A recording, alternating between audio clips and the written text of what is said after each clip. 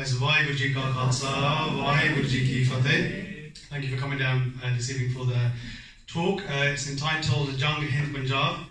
Uh, and uh, just as um, Jasdeep Singh has said, it's the first part of a, a two-part talk. So this week I'm going to be covering the kind of preamble, the build-up to 84, um, just to provide a bit of context um, to what took place uh, in Chaurasi. So we'll start from partition, and we'll look at uh, the partition of Punjab and the Punjabi Suba movement that followed. Then we'll continue with um, what I term this Indo-Sikh confrontation, um, which kind of continues for the decades that uh, that predate 84. And then today we'll end with Dharam Yudh Morcha, so we're up to 84. And the next week we'll pick up from the actual battle itself, the aftermath and the Sikh genocide, and then the declaration for Khalistan that came in 1986. So, like I said, what, in 1947, it's, it's the dawn of, of the Indo-Sikh confrontation. So we heard from Bhai Jasdeep Singh a few weeks ago about the zulm that the Sikh underwent in, in the 18th century from the, from the, the Delhi throne of the Mughals. Yeah, um, we've just recently commemorated 100 years since the Jallianwala Bagh massacre under the British. So what we see now in 47 is this new era of subjugation that takes place across Punjab from the Indian state, and it does begin in 47. So the Vichora that happens, it's literally a split of Punjab. You have Lahore, which was the capital of the Bari Khas under Ranjit Singh, which falls to modern day Pakistan, and then you have Darbar Sahib Akal Takht and the other uh, Gurdwara that go to East Punjab. It's um, it's it's up to 40% mass displacement of the Sikh, uh, and the conservative figures say that uh, 2 million uh, people died as a result of that.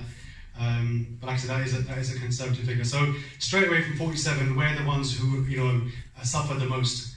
Um, there's also the partition of Bengal as well, but for the purposes of today, we're going to be concentrating on Punjab.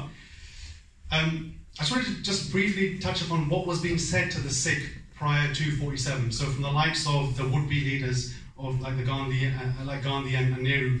So they were saying things like, apologies, it's a little small on the screen there, hope you can read it.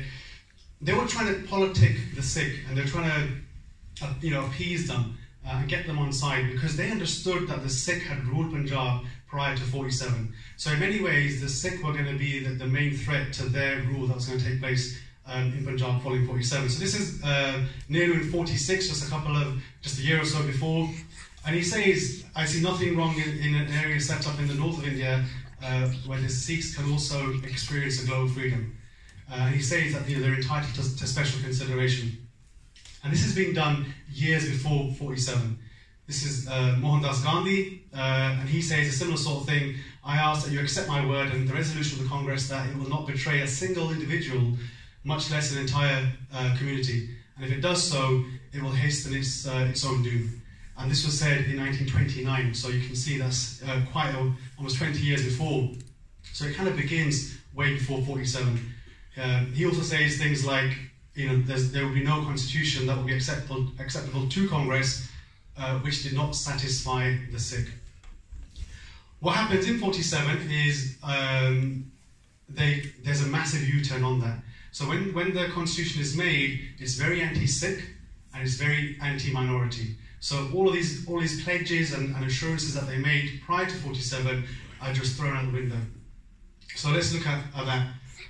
Look at the date there, 10th of October, so two or three months after partition happens.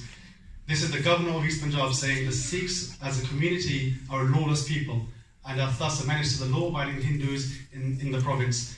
Hence, they should be stringently suppressed. So you see now the, the kind of how they've changed uh, their views on the Sikh and, and, how they how they view us. And like I said, the constitution itself, when it comes out, is is, is very um, anti-Sikh. So what we see then is over the next kind of uh, two decades, um, there's there's mass scale suppression and subjugation that takes place across Punjab. Um, and there's two things I want to speak about specifically, and that was um, the river water um, allocation that takes place and the denial of the Punjabi language. Now, in the 50s, uh, well, when, when Punjab was split, the East Punjab was given a certain allotment of the of the river water that, that runs through the, the larger Punjab. in the, in the mid 50s, Rajasthan was given 50% of Punjab's share of that water, and Rajasthan being a non riparian state. Um, and the Sikh obviously they oppose that because we all know that agriculture is the main industry in Punjab. You know, it's, it's going to affect the economic stability of Punjab and, and the people, and it's going to affect their ability to earn an income. Language is also denied. So every other Hindu state within India is recognized on linguistic grounds, but Punjab is made an exception. So what they're trying to do is they, they try to force Hindi as the official language of Punjab. I just wanted to bring up a couple of papers uh, from this from the UK. So this was written in the Scotsman in 1950. Um, I have copies of these, so I can circulate these afterwards. The Akali Dal, they were the, the Indian political party set up to uh, supposedly represent the Sikh. So it says here that the Akali Dals want nothing less than an autonomous Punjabi-speaking state, carved out the Punjab and a few states to the east. It is to be subjected to the Indian Union only in matters of defence, foreign affairs, and communications. As was promised by the Indians prior to 47, they said that the, Punjab would, would um, be semi-autonomous and we, there wouldn't be any infringements from the centre. Um, so as a result of what actually happens, um, the fact that they lied, they lied about that, the Sikh and opposed, and this is what was being written in the press here in this country. Uh, another quote from that article is uh, It, the Indian government, says special concessions cannot be made to local minorities. The Sikh must be Indians first and, and uh, Sikhs afterwards. So you see how they've changed in their attitude towards the Sikh just within, uh, within a decade. I mean, it hasn't even been 10 years since partition, but this is what is now being said, uh, and this is what's being reported here uh, in, in the UK. What happens is, as a result of the actual um, resistance from the Sikh, um, the, the Indian government and, and the police, they come down quite heavy on the Sikh. So, what, can anyone tell me what, what that looks, looks like it is? Um,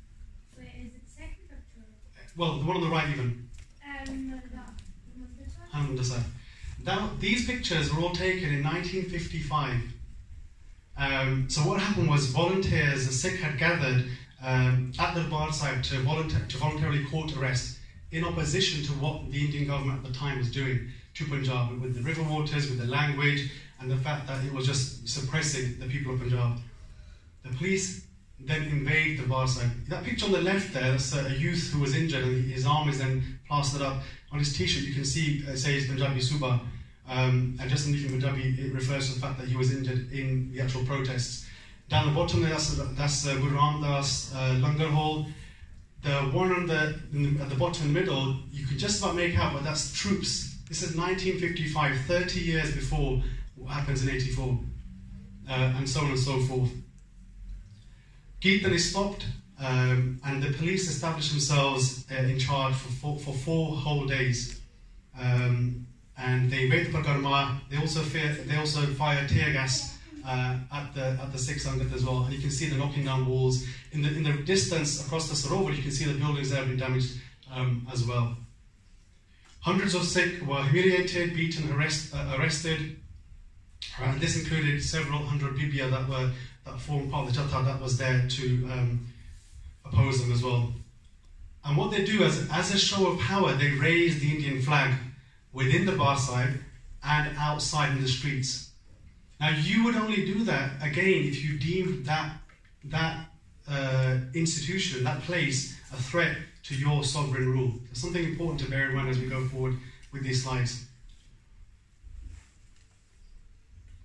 So again, just to give some context, this has been written now in 1955 here again in, in the UK. Uh, this is the Telegraph. Sikhs campaign for an independent state. So this is already happening in the 50s. Just some quotes. Um, I want you to pay attention to the terminology that the reporters are using here and compare that to what you've read to the reports that have come out since the 80s and, and the propaganda. So the proud and fearless Sikhs of India, backed by their centuries-old tradition of warfare, are pushing campaign for an independent state along the rugged northwest frontier. Tall, bearded, warlike, the picturesque Sikhs want a state of their own. And they go on to say 10,000 Akalis in blue turbans and with orange scarves uh, wound close, uh, loosely around their necks, volunteer, uh, volunteers for the civil disobedience campaign. So you can see the sheer number of, of Sikh Sangat that were actually there protesting what the Indian government was doing in, in the 1950s. And actually, that was the, the Coventry Evening Telegraph. Police invaded the sacred Golden Temple and were and showered with bricks, so they replied with tear gas bombs. As I said, they cordoned off the temple um, and hundreds were arrested. This last quote independent, courageous, persistent, and fearless all describe the Sikhs. The chances are good that they will one day achieve a home of their own. So, this is what's being reported here uh, in the UK at the time. So, okay, this is all being done because of what the Indian state was doing with the subjugation and the fact that it was um, denying Punjabi as the official language of Punjab, whereas the other states um, had been given that right. So, what happens? Well, Punjabi is eventually recognized as the official language in 1966, but it comes at a huge cost. What they actually end up doing is so this map is a really good illustration of what takes place in Punjab. So that kind of light to green area in the middle, that was Punjab under Maharaja Ranjit Singh and, and, the territory that he laid claim to. Then where it says that kind of white area, all of it, that was then uh, the what happens in, post, in, in 1966. Just to the right of that, you see the other little kind of light green area. Yeah. So this area here, all of this, that was 1947. Then after they create um, two new states of Himachal up here and Haryana down here, Punjab is then reduced to a mere fraction of its former self in 1966. So they do give the Punjabi language its, its prominence, but only at the cost of further splitting Punjab up.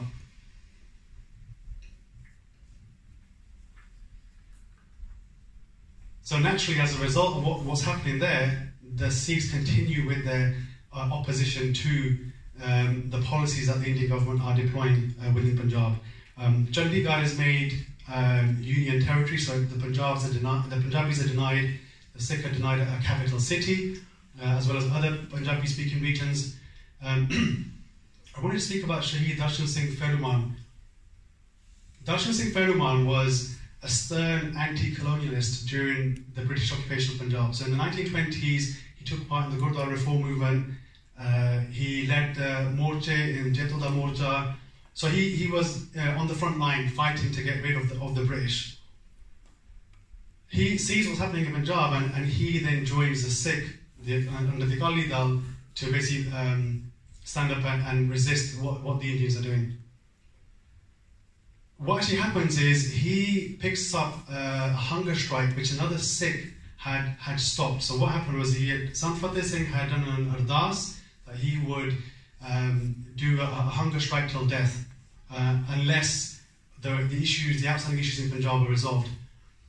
He, what happens was Indira Gandhi approached him and uh, she said, look, we'll, we'll, resolve it, don't worry about it, we'll, we'll sit down and we'll, we'll resolve the issue. So he, oh man, so he basically stops his hunger strike. And Darshan Singh Pheruman comes in and says, no, this is wrong because you did an ardas, and as we all know, for a Sikh, the ardas is the, the highest thing that we can do. So he then picks up the mortar. So primarily to obviously, again, to resist what the, what the Indians are doing in Punjab, but also to, to um, for the sanctity and, and the dignity of, of upholding ardas. And he then eventually, on the 74th day uh, of his hunger strike, he then um, passes on as well. But the reason I wanted to speak about him was because this was someone who was fighting against the British to free India at the time. Uh, and then when he stands up for the rights of Punjab afterwards, they pay no attention to what he's doing. They're complete disregard and complete disrespect um, of the Sikh. It shows you how much they valued the actual contribution the Sikh made prior to 1947. So this is kind of so as a result of all of the, issue, the outstanding issues, the Akali Dal, they create a document called the Anandpur Sahib Resolution in 1973. It's drafted by um, Sardar Kapoor Singh, and it, it's, a, it's a key position document outlining all of the outstanding issues, the river water that's been diverted, the Punjabi language, uh, the fact that Punjab doesn't, is not, you know, doesn't have any sense of autonomy, and it's not a federal setup. All of these issues are then outlined. So now it kind of comes as it comes. Now we're coming to uh, kind of the 70s, um, and this is now getting closer to obviously what happens in '84. In 1975, uh, Indira Gandhi, she's found guilty of election fraud. Um, and to save herself from the repercussions of that, she declares a state of emergency across India. And this lasts for almost two years. Um, she throws anyone in, in, anyone who opposes her into jail. According to Amnesty International, 140,000 oppo- um, opponents are thrown into um, jail without trial. So completely unconstitutional, complete miscarriage um, of, of, of justice.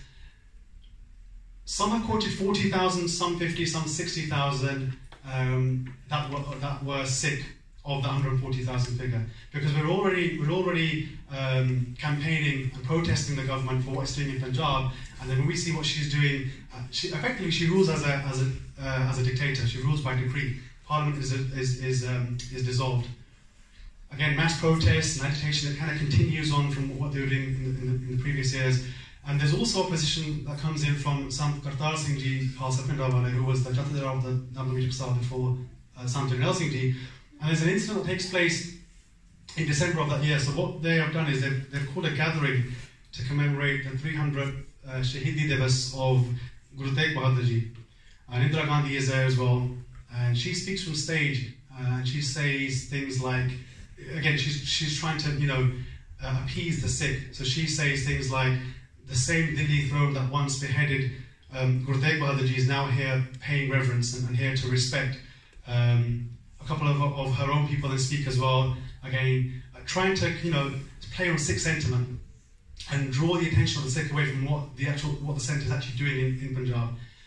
Sant Kartar Singh then speaks and he, and he calls her out, and he says you know he says things like it doesn't matter how powerful she might think she is. No one for the Sikh is greater than, than the actual Guru, and and the Sikh only bow down to Guru Granth Sahib Ji and uh, only recognise the sovereignty of the Guru Khalsa Panth. And as soon as, and when he says, when he makes his speech, uh, all those that are gathered, there's Jaikare that are heard from across the Divan. So she, you know, this, this, um, it doesn't settle well with her because she understands that actually the Sikh are still have that connection to the Guru um, and they are still going to oppose her, her unjust uh, rule. So what does she do? The following year, the attacks continue in Punjab. So when I, when I said earlier that the two new states that have been created, Haryana and Himachal, she issues an executive order for, for a further 50% of Punjab's river water to be diverted um, to Haryana, and Delhi also takes some as well. So Punjab is then left with 75%, uh, sorry, left with 25% of what it was originally allocated following 1947. And again, like I said before, it, it has a massive effect on the livelihood of the Sikh of Punjab. Outside of farming and agriculture, for, for the Sikh of Punjab, you know, joining the armed forces, they've got a great tradition of being, you know, a martial race, uh, a martial people. So they would, um, they also place a restriction on that.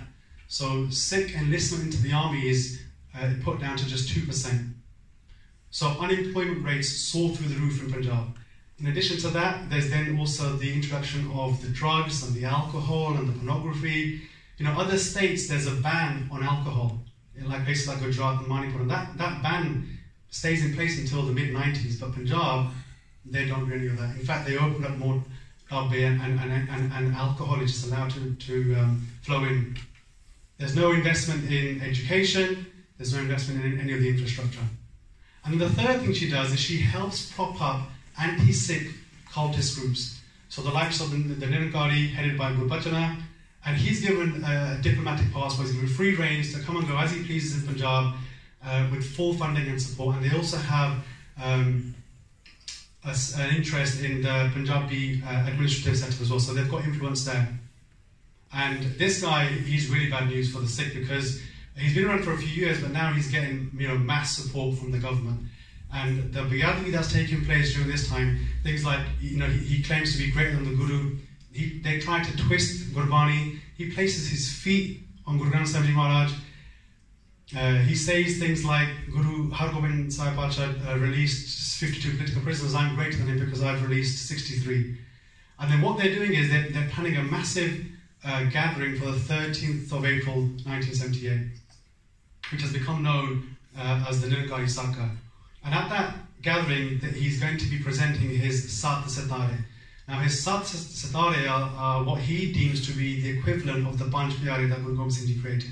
So you see, it's a direct challenge to the ideology of the Guru and to our itihas uh, and, and our Siddhant. So the Sikh are obviously not going to stand for this. So Sant Nelsonji, who's now the leader of the Damdami Taksal, he organizes a Jatha of Sikh to go to oppose um, the Nirankaris. So a group of 100, Akhand Kirtan Jatha and uh, get together. But as soon as they arrive at the assembly of the Nirankaris, they're, they're shot at. Uh, the Nirankari government, as well as the police who are colluding with them, they shoot at them.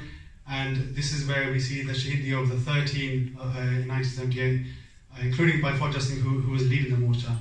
And the picture on the bottom there is the, the Antim Sanskar um, led by something else. So this, in many ways, for me, is kind of a turning point um, that we see, despite the fact that the Sikh have been resisting since 47, and despite the fact that the Bar has already been invaded, this now, and there were other incidents as well in that year, in Kanpur, in September, and in Delhi as well, where again, indiscriminate firing and Sikh again. And you've got to remember, at this stage, they were there peacefully protesting, and they were shot, they were shot upon. Uh, following this, the Hukamnama is issued from the Akal Takht, where it basically forbids any Sikh of the Guru from associating themselves with the Nirankaris. And this is now when we see um, the rise of, uh, of Sant Singh I put this in, but I'm going to skip this. This is basically just some of the, well, it's the 12 resolutions of the Anand resolution, which the Akali at this stage now formally adopt.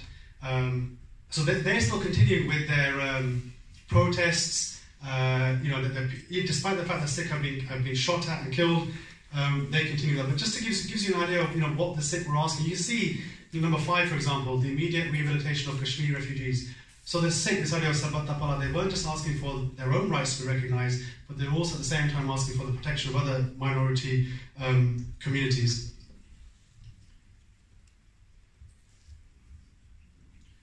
So in 1978, following the Nirankari Saka, there's a, a, a massive meeting called. Um, and the meeting is attended by most of the main leaders of Punjab, so the likes of Longowal, Tohra, uh, Badal is there, anyone who's a, who's a pradhan of a, of a Gurdwara, they're there as well. Um, and Sant Nelson as well uh, is there, even though he's not, not much is known about him at this stage because, like I said, he's just become the Jathadar, quite young as well. Uh, and what they basically, what the what the others are, are, discussing is how they're now going to resolve the issue in Punjab. So it's, but again, they're kind of putting forward ideas that they've already exhausted. So they want to try and speak with the government. They're going to try and go through the courts. Um, these are the kind of things that are being suggested. Um, and then what happens is, and Hang Singh, he, he takes the, the, the, mic and uh, he says uh, that, you know, there used to be a time in the Panth when the Jathadar would give the order, and the Singhs would go and take his head off for what he's done. And we heard again from just, uh, Bhai Jasdeep Singh a few weeks ago of Singh Mehtab Singh and what they did with Massa Ranghar. So he, you know, he's trying to bring back that idea of, of what the Khalsa were, were, about, you know, our tradition, our, our parampara. Uh, after he speaks, uh, someone else from the Akali Dal, I think it's a, a Bibi, she speaks and she tries to kind of downplay what he's what he's just said, and she says, look, we've, we've got to uh, remain level-headed um, some Josh Hosh She says these kind of things. And after she speaks, Santji stands up and he comes forward and, and, he speaks. And again, like I said, no one, no one really knows who he is, you know, where he's come from. They know that obviously he's from the Taksal, um, but this is really his, his, kind of, his kind of first appearance. And uh, he says, he goes, I want to ask the, the Bibi who just spoke that did Guru Gobind Singh not have a horse when he had all the battles with the Mughals? Did Banda Singh Bahadur not have any horse uh, when he took on the Mughal Sarkar and, and, he, and he started an armed res, uh, resistance movement. And again, he makes the same points uh, to, to kind of reiterate what the, Nihang was saying. Uh, and then he, say, then he concludes by saying that I'm not just the Dar of the Panth, I'm just a donkey, I'm just a servant of the Panth, but when you guys have tried your methods and they fail, come to me, I'll give the order, you can go take his head off.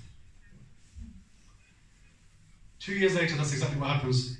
Gurbacharan is assassinated by uh, by Ranjit Singh, who goes on to become the Jathadar of the Akal Takht.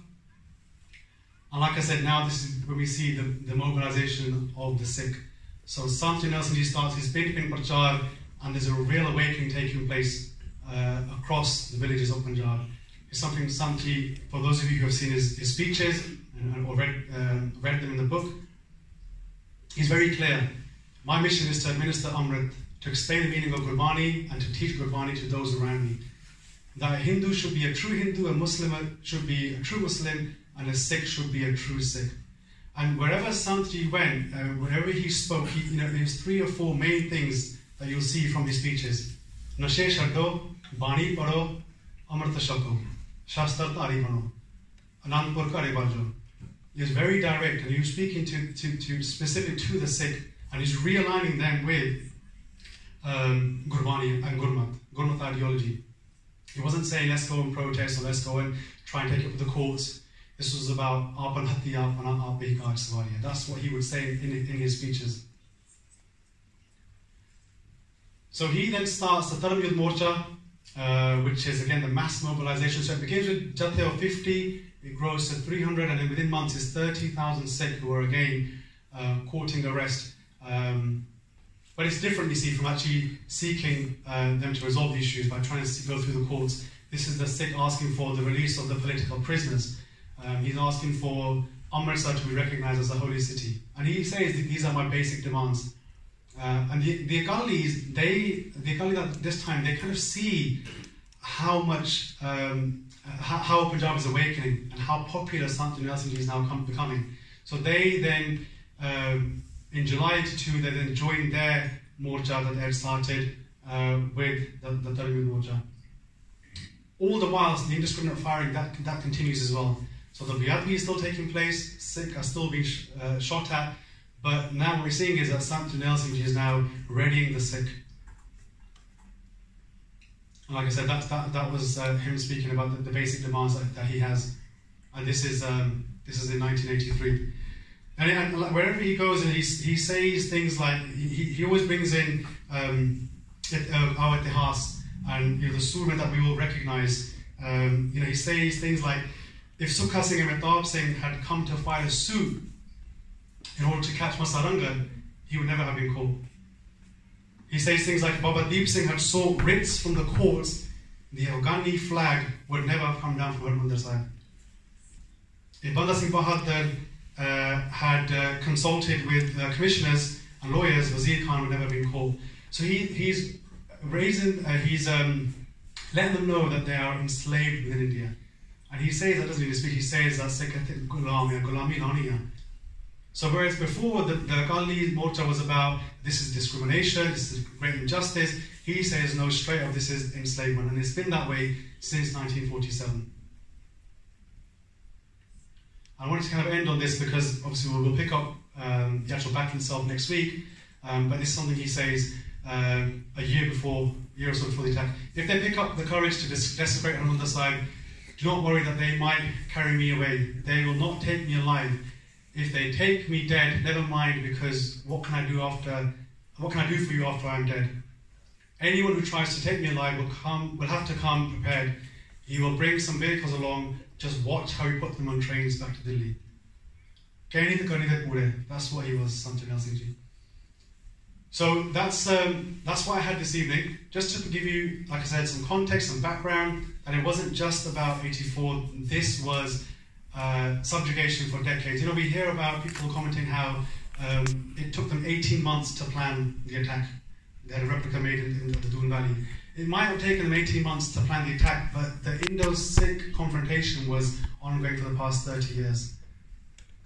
So I'll leave it there. Uh, we'll open the panel, we'll open the floor up to questions. Uh, I know I've, I've seen some of the questions that have come in. I know some of them probably relate to next week's talk, but we can we can address them um, as well. Thank you for listening. Waheguru Ji Ka Khalsa, Waheguru Ji Ki Fateh.